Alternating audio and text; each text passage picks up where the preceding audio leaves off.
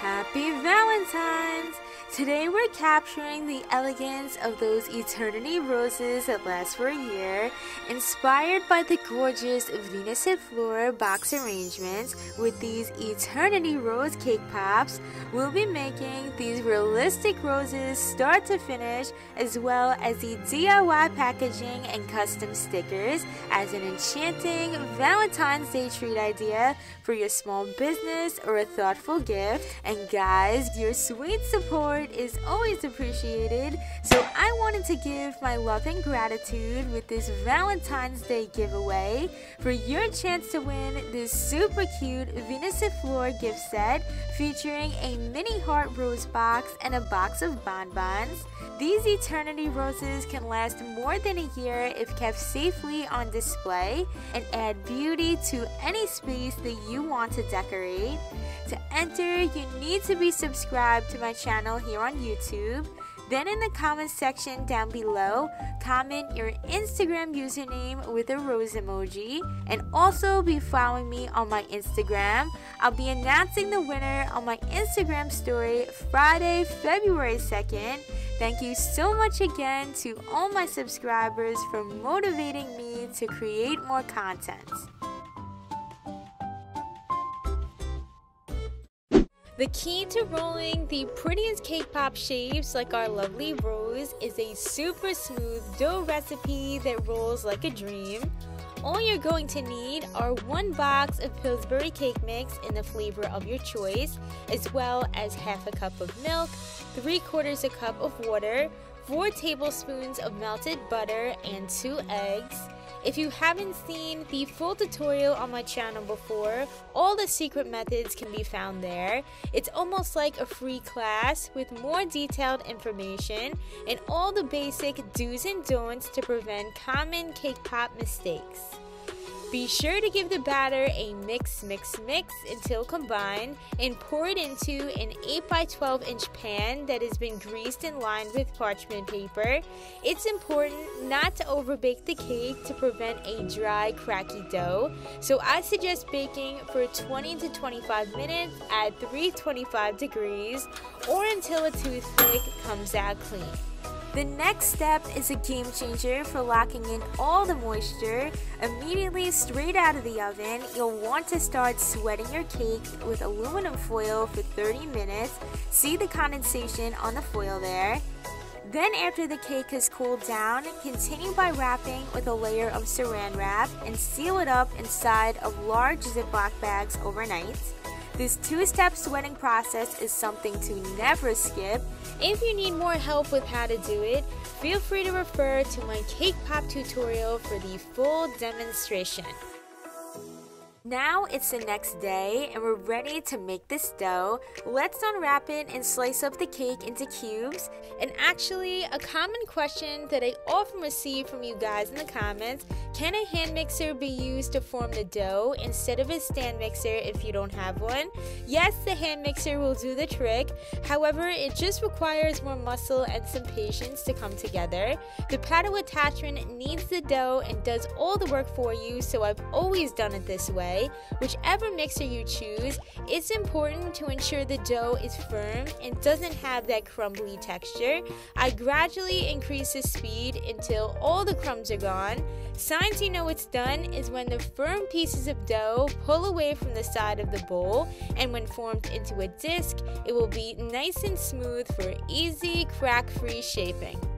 To create the base of the rose, my go-to essentials are a meatball scoop and an oval-shaped mold such as this egg mold from My Little Cake Pop. I will link all the supplies I use in the description box down below. First scoop out a portion of dough and remove all the excess scraps. Then start squeezing and flattening into a compact patty shape with lots of pressure to eliminate cracks. Once you have your Krabby Patty, ease up on the pressure as you cup in your hands to create a smooth round ball. It doesn't need to be perfectly round. Before placing in the mold, I slightly elongate and taper the middle area to make the shape as close to an oval as possible. That way the dough fills up all the empty areas of the mold when firmly pressed shut. After giving it a good squeeze, open the mold and carefully remove by peeling it out. Then clean up the seam around the edge with a lollipop stick or toothpick. The final touch is to cut off about a quarter from the end and pinch around to remold and tweak the shape after cutting.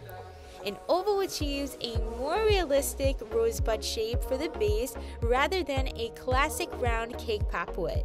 Right before we get dipping, the fun part is molding the beautiful 3D flowers to go on top. Being that the three-dimensional mold is deeper, it helps to pour with a silicone pouring cup such as my OXO cup and shake as you fill to get in all the nooks and crannies. Also having the chocolate melt at a smooth pourable consistency. For all of the roses today, I'm using Merckens brand. There may be some air bubbles on the surface from all the shaking. All you need to do is pop the bubbles with a toothpick or cookie scribe. Tap, tap, tap to settle out the chocolate and pop these in the fridge for about 20 minutes or until completely set. I really like how beginner friendly and stretchy this rose mold is compared to others. First, I begin around the edges and gradually stretch to ease it out. As you may know, usually this is not a fun task, especially with delicate designs like the skull hands or thin princess frames that easily snap. With this mold, you won't experience any difficulties like that. As for these stunning gold roses, keep in mind the color is a deeper gold. If you're going for the signature Venus et Fleur inspired look, I recommend molding the flowers with Merckens milk chocolate instead of yellow or white melts, which appear as a lighter gold when the luster dust is applied over it. Our friends Coco and Berry are going to help us add some sparkle. My tips and tricks for providing the most coverage is to apply the gold luster dust with a three step technique. First part is to dry brush the rose from top to bottom and everywhere in between the petals and crevices with a large fluffy brush. Then step 2 is to paint over the first layer with gold edible paint by mixing small amounts of clear vodka into the luster dust until it's a paint consistency. A good quality, high proof alcohol like Everclear will allow the intensity of the pigments to pop even more. Last but not least, step 3 after the paint has dried is buffing over the paint with dry luster dust again. Think of this full coverage technique as similar to doing special makeup before a photo shoot. It's also set to last longer too, so not only does the gold look amazing, but is less likely to rub off of the chocolate as well. To bring the red and pink roses to life, there's no need to do the three step procedure. Simply brush on your favorite luster dust. The red was from my local cake supply store and has some gold undertones to it. The pink was the Rolkem brand in the shade Blush Pastel Pink, found on itwasalladreamshop.com. It's almost time to start dipping, and our friend Teddy prefers wooden skewers for a clean look on any bouquet. Keep in mind that the standard cake pop stands I would usually use, like the tiered one from Amazon on the left or Hobby Lobby on the right, are designed for lollipop sticks. The skewers move around and aren't stable to stay in place, so for this project, a block of floral foam will keep the skewers secure. The skewers are inserted the same way as lollipop sticks. Grab a skewer and dip the pointy end into a small amount of chocolate, shaking off any excess, and stick directly into the center. Then allow them to set for at least 10 minutes on the counter to fully anchor the base to the stick. While waiting during those 10 minutes, heat your chocolate to dipping temperature, flip the roses over, and dip until completely covered tapping off the excess while still upside down. My tips are to work quickly to ensure the chocolate is still wet and have the roses all ready to go to attach onto the base before the chocolate sets, holding for about 15 seconds before placing upright in the floral foam to dry. And guys, if you're enjoying so far, thank you for stopping by my channel.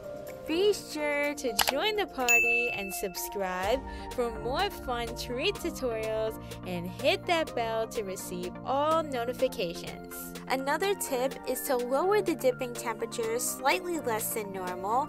If the chocolate is too runny, you risk the rose slipping off. Usually for Merckens, I dip between 86 to 90, but I lower it to 84 degrees instead.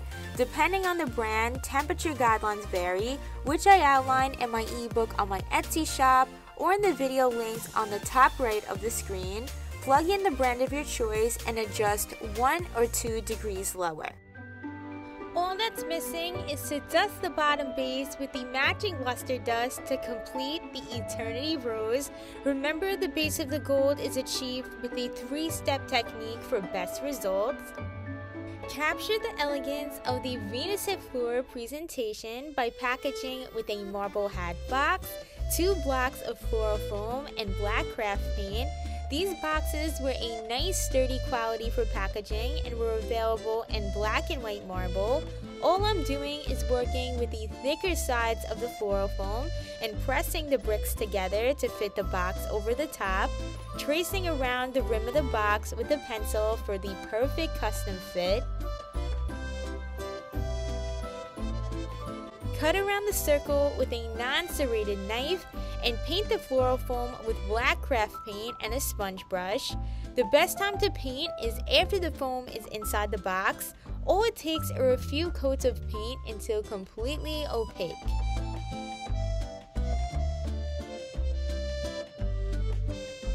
Once the paint is dry, it's completely optional to add DIY foil stickers for a customized touch. At the end of the video, I show you how to make your own on the Cricut. To give you an idea, this is the smallest size box in the set, able to fit approximately 13 to 14 roses. I trimmed the skewers a bit with a clipper before arranging each rose in the box. And we have the most memorable and gorgeous Valentine's gift or custom small business item. Integrating Cricut customization as an add-on makes it even more unique. Give these foil stickers a try if you like Cricut DIYs. The list of five items for this project are 1. A blue light grip mat 2. This black sticker paper or substitute with a medium weight black cardstock 3. This foil transfer kit that includes gold foil sheets and a 3-in-1 foil tip. It can be found in the Cricut Joy section at Michael's Craft Store.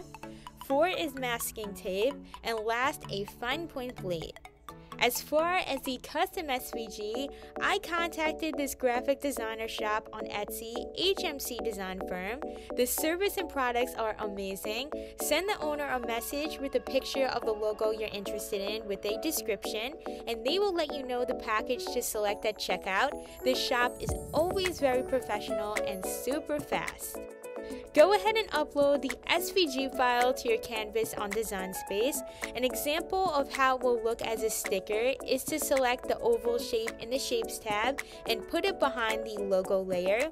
Looks great except when the foil function is added, you'll notice that it doesn't fill in the design completely, only an outline of it. Take a peek right here.